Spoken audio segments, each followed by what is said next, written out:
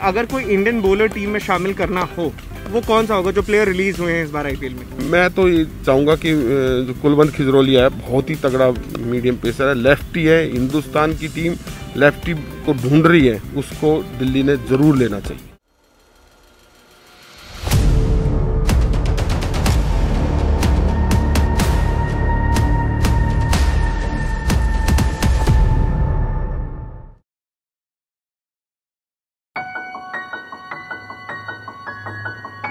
मेरी जो start journey journey start हुई है क्रिकेट की, वो नेट बॉलर से हुई है।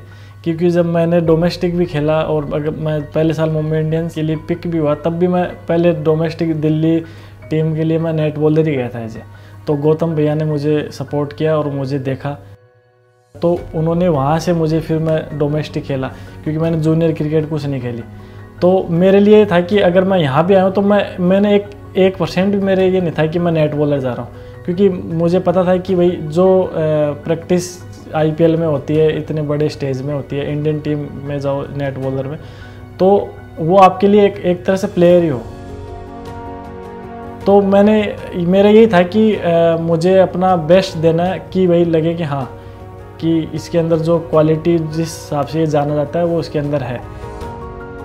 जब मेरा जैसे अनाउंस हुआ, उससे एक दिन पहले ही मुझे ऐसे बताया था। और पहले भी मुझे एक दो दिन पहले जैसे अपने ट्रेनर रजनी सर है पैट्रिक सर है तो उन्होंने बोला कि थोड़ा सा अपने आप को सेफ़ रखना है और अपनी फिटनेस और बॉलिंग पे थोड़ा सा लोड वर्कलोड अपना देखना है। तो मुझे थोड़ा सा था कि भाई हाँ मतलब ध्यान दे रहे हैं। तो फिर जैसे रिक्की सर ने अनाउंस किया उसके एक या दो दिन पहले मुझे अपने मैनेजर सीड सर ने मुझे बताया था कि आप सिलेक्ट हो गए हो और तो मुझे बहुत अच्छा लगा क्योंकि यहाँ पे जो इन्वायरमेंट है क्योंकि जो भी यहाँ प्लेयर है सारे मेरे साथ डोमेस्टिक में और आईपीएल में मैं काफ़ी दिनों से खेल रहा हूँ तो यहाँ ऐसा फील ही नहीं हुआ कि मतलब मैं नेट बॉलर आया हाँ, वो मोमेंट बहुत अच्छा था क्योंकि मैं भी उनके साथ, जैसे अभी हाफ़ जो आईपीएल हुआ था, तब था और उससे पहले मैं डोमेस्टिक में जो मैच होते हैं अपने लोकल क्रिकेट के तो हम मतलब आपस में मिलते रहते हैं। और अभी जब हम बॉलिंग वगैरह करते हैं प्रैक्टिस करते हैं तो हम हँसी मज़ाक, एक मतलब और प्रैक्टिस के बाद भी हम आपस में मिलते रहते हैं। तो उनको बहुत खुशी थी क्योंकि उनको पता था कि मैं मतलब मेरे लिए उनको ऐसा लगता था कि भाई अच्छा अच्छे मैं अच्छी बॉलिंग कर रहा हूँ काफ़ी दिनों से ट्रेनिंग भी अच्छी कर रहा हूँ सब कुछ। तो उनको पता था कि ये मेहनत है तो इनको वो चीज़ मिलनी चाहिए। खुशी होती है अपने ऐसे लड़कों में एज हम नेट बॉलर आते हैं तो अच्छा लगता है कि कोई सेलेक्ट हुआ है। और मैं तो ये चाहता हूँ कि अगले साल सारे सेलेक्ट हो मेरी तो यही है। फीलिंग काफ़ी अच्छी थी स्पेशल थी। जैसे कि हम पिछले सात साल से साथ में जब मैं भी कुछ नहीं खेला था और वो भी बिल्कुल नया नया ही आया था। मतलब पहले वो खेलता नहीं था प्रोफेशनली वो ऐसा जॉब करने आया था। तो फिर जैसे खेलने लगा तो हम पहला टूर्नामेंट मेरे को याद है, हैदराबाद में खेल रहे थे। तो वहाँ से अच्छी बॉन्डिंग बन गई एक तरीके क्योंकि एक तो गाँव गाँव का, दोनों का कांटेक्ट होता है, वो अपने आप कनेक्शन आ जाता है। तो काफ़ी स्पेशल बॉन्डिंग है हम दोनों के बीच में और जैसे हमारा ग्रुप है तो हम लोग बहुत खुश थे।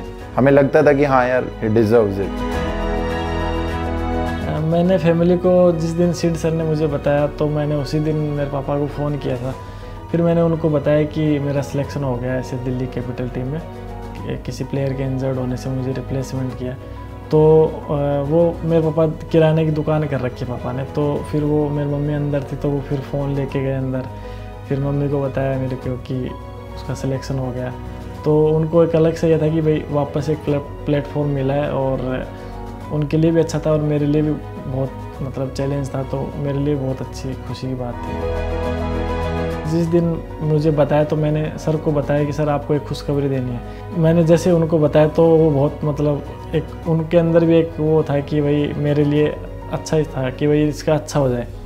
तो वो बहुत खुश थे, वो ट्रेवल कर रहे थे ट्रेन में तो बोले मुझे बहुत प्राउड फील हो रहा है तेरे पे कि भाई वापस इंजरी के बाद तूने इतनी अच्छा अपने लिए किया है, हमारे लिए मतलब सम्मान की बात है।